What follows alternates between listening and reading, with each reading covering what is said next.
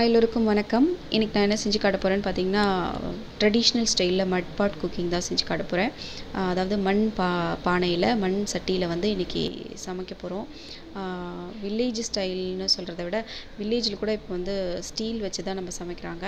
அதனால் இதை ட்ரெடிஷ்னல் ஸ்டைல்னு தான் சொல்லணும். அந்த காலத்துலலாம் வந்து மண் பானையில் மண் பாத்திரத்தில் தான் வந்து சமைச்சு சாப்பிட்டாங்க. அதனால் அவங்க ஆரோக்கியமாக இருந்தாங்க. அதனால் இன்றைக்கி நான் வந்து அது மாதிரி தான் இன்றைக்கி நான் உங்களுக்கு சமைச்சு காட்ட போகிறேன் பாருங்கள் நான் பானையில் வந்து சாதம் வச்சு வெந்துட்டுருக்கு. ஒரு பக்கம் வந்து சிகப்பு கீரை சிகப்பு முளைக்கீரையில் பூண்டு பச்சை மிளகா போட்டு வேக வச்சு எடுத்து வச்சுருக்கேன். இது வெந்ததும் நம்ம தண்ணி வடிகட்டிட்டு கடைஞ்சிக்கலாம். கொத்து சட்டி இது. கொத்து சட்டியில் வேக வச்சுட்ருக்கேன். இப்போ வந்து ஒரு பக்கம் வந்து வத்த குழம்பு வந்து தாளிக்க போகிறேன் வத்த குழம்பு தாளிக்கிறதுக்கு எல்லா விதமான வத்தலும் நான் எடுத்து வச்சுருக்கேன். ஒரு எலுமிச்சை பழ அளவு வந்து புளி வந்து தண்ணியில் ஊற வச்சு எடுத்து வச்சுருக்கேன். வாங்க நம்ம வத்த குழம்பு வந்து தாளிச்சிக்கலாம். இந்த மாதிரி ஒரு சட்டி எடுத்துக்கிட்டு சட்டி காஞ்சதும் எண்ணெய் விட்டுக்கோங்க. எண்ணெய் விட்டுட்டு நம்ம எடுத்து வச்சுருக்கிற கருவேப்பிலை பூண்டு எல்லாம் வந்து ஃபஸ்ட்டு போட்டு வதக்கிக்கலாம். நல்ல பூண்டு நல்லா வதக்கிக்கலாம். நல்லா வதங்கினா நல்லா வாசனையாக இருக்கும். பூண்டு வதங்கினதுக்கப்புறம் நம்ம எடுத்து வச்சுருக்கிற எல்லா விதமான வத்தல் மணத்தக்காளி வத்தல் சுண்டக்காய் வத்தல் கொத்தரங்காய் வத்தல் கத்திரிக்காய் வத்தல் எல்லாத்தையும் நம்ம போட்டுக்கலாம். மாவத்தல் மட்டும் சேர்த்துக்க வேணாம். மாவத்தல் வந்து கொஞ்சம் ஹார்டாக இருக்கும். நம்ம அது கொஞ்சம் வெந்நீரில் ஊற வச்சுட்டு கடைசியாக தான் நம்ம சேர்த்துக்க போகிறோம் ஸோ வந்து இந்த மாதிரி எல்லாத்தையும் வந்து நல்லா வதக்கி விட்டுக்கோங்க. முடிஞ்ச அளவுக்கு வந்து இந்த மாதிரி மண் பானையில் மண் பாத்திரத்தில் வந்து அட்லீஸ்ட் வீக்லி ஒன்ஸ் வாரத்துக்கு ஒரு நாளாவது சமைச்சு பழகிக்கோங்க. சமைச்சிங்கன்னா வந்து நம்ம ஆரோக்கியமாகவும் இருக்கலாம். நம்ம ஃபேமிலியோடு உட்காந்து சாப்பிட்ட ஒரு திருப்தியும் நமக்கு கிடைக்கும்.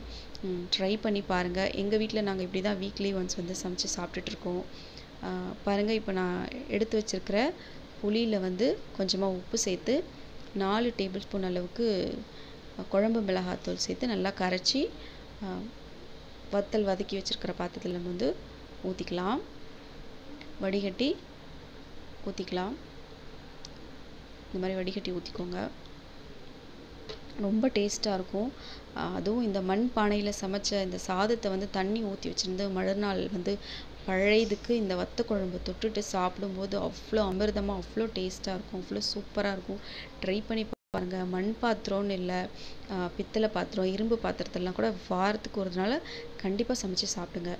இப்போ நம்ம ஊற வச்சு வச்சுருக்கிற மாவத்தில் வந்து நான் சேர்த்துக்கிறேன். நல்லா கொதி வரும்பொழுது குழம்பு வந்து நல்லா கொதி வரும்போது இந்த மாதிரி மாவத்தில் சேர்த்து நல்லா கொதிக்க விடுங்க.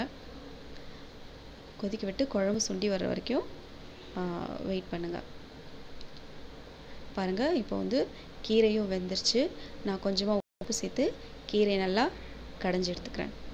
கீரையை கடைஞ்சிட்டு நம்ம வந்து கீரையை வந்து தாளிச்சிக்கலாம். இந்த மாதிரி ஒரு இரும்பு கடாய் எடுத்துக்கோங்க.